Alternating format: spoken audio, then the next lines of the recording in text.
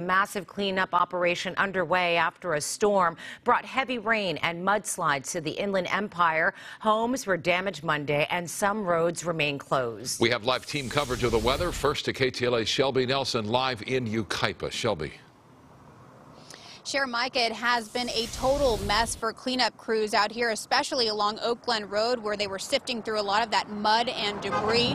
Now, in some of the latest information we just learned from the San Bernardino County Fire Department, they say they've got search teams out in this area as well as Forest Falls, where they've been going door to door to make sure everyone is accounted for. But at this hour, they say most people are, except for one person in Forest Falls.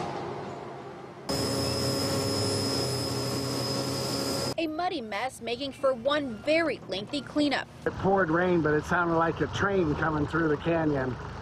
There was a big tree sitting right here, and oh, here it is. It, it's gone. Our mailbox, everything's gone. Remnants of Tropical Storm Kay causing torrential rains to wash out roads, consuming cars, and even prompting search teams to scour collapsed buildings and homes, making sure people aren't trapped or hurt. The walls are all still standing, so I think we're good there.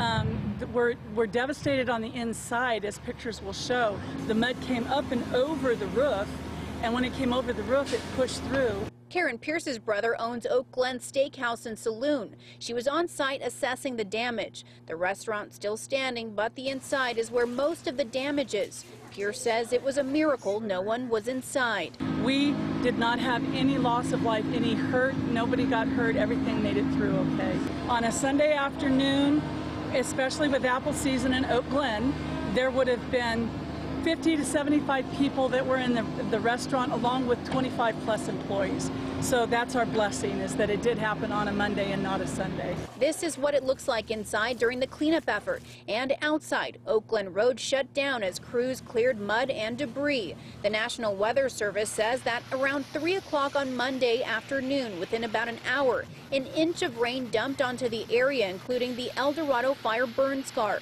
The Inland Empire becoming a hotspot for the rain even through the weekend, prompting evacuation orders not only in Oak Glen, but in Forest Falls. And those evacuation orders that were put in place in some of those communities in Forest Falls as well as here in Oak Glen, those are all still in place at this hour.